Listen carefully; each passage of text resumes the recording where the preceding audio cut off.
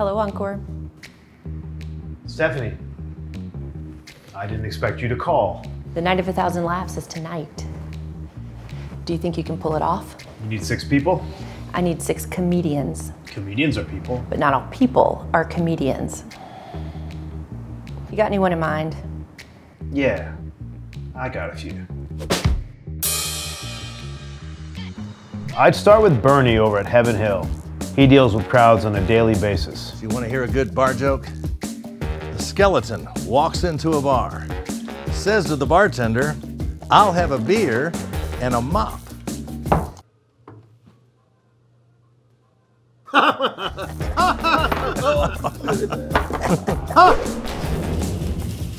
Next up, Allie at Wicked Sheets. She's always coming up with new ideas, and you won't find someone more serious about their work.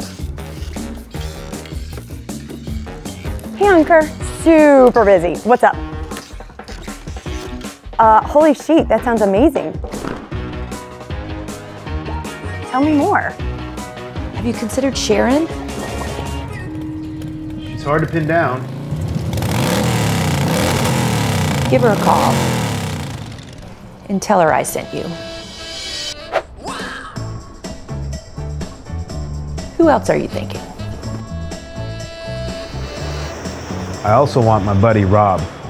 He may just steal the show. I mean, look his name up in the dictionary. Ankur, what's up? Oh, you know, just balancing my checkbook. Tonight? What do you need me to do? The audience likes to be surprised, so you want to throw someone unexpected at them.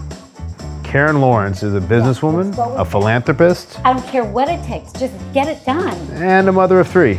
Oh, hang on, sweetie, I've got another call coming in. Go ahead.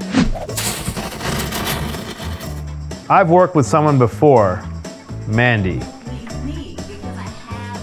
She can read the crowd like a book, mullet stuck in your throat? and she'll bring everything in for a smooth landing.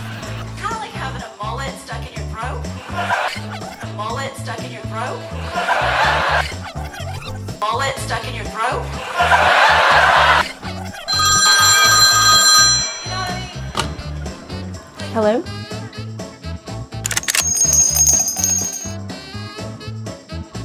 You free tonight? Good, because I'm just one lap short of a thousand.